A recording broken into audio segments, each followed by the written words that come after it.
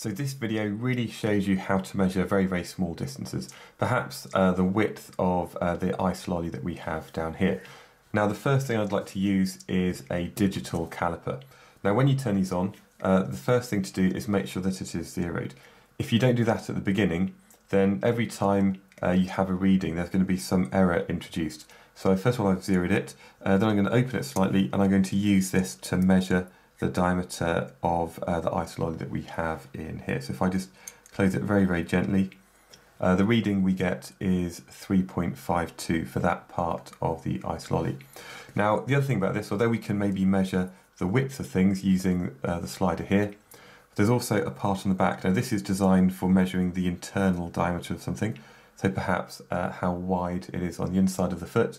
And also at uh, the other end, uh, there's a thing that we can use to measure the depth. So this comes out, this can then tell us maybe uh, how far those legs go in on the inside. So this is our digital caliper and it's pretty straightforward to use. What's a lot more tricky though is this thing here. Now this thing here is a micrometer, or effectively a micrometer. So this means we can measure very, very small distances. Now this one here is a bit more tricky to use and a bit more tricky to read. So uh, let's imagine that once again we're going to measure the diameter of this ice lolly. What we need to do is we need to put it uh, within this part here. I'm just going to open the jaws up slightly and rather than just uh, tightening in uh, using the kind of the big knurled grip over here, if you tighten that too much, what it's going to do is going to deform the thing that you're measuring. So the way to actually take your reading is to use uh, the dial at the end, and as you put it in, you'll find that there's a certain point where you feel a bit of resistance. If you, if you uh, tighten it anymore, there's a small click. What we can then do is we can take the reading off this. So if we just zoom in on this, so this is the reading that we see on the micrometer.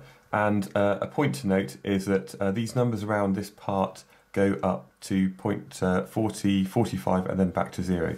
What that means is that one rotation of this part moves this part in and out by half a millimetre.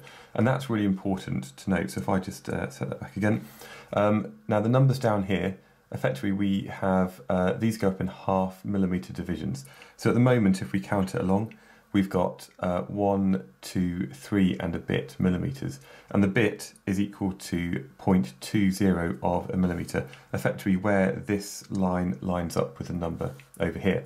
If we were to maybe take it out by one full rotation, uh, then that means this is moved out by another half millimetre. And now this is reading three uh, then you have the half division and then uh, 0.20, so this would be equal to 3.70 millimeters. Hopefully that kind of makes sense. This is just something that you've got to find at school, have a play around with, uh, and see how you get on. But if you uh, if you want to have a go, what I'll do, I'll set this up to a couple of different values. Uh, you can have a go at trying to read it, uh, and I'll put the answers towards the end of the video. So here we go. This is reading number one.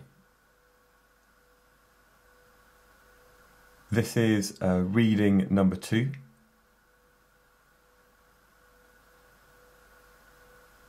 Okay, this one here gets a bit more tricky. This is reading number three. This one is reading number four. And finally, this is reading number five. So hopefully that made sense. Um, this is a caliper, this is a micrometer and you'll have something similar somewhere in your lab at school. And it is worth having a go at these, practicing measuring these small distances. And if you do that uh, now, then it means that in the future, maybe when you need to maybe measure the diameter of a piece of wire, or whatever it might be in uh, one of your practicals, you'll have a bit more understanding about how to read this scale that we have down here.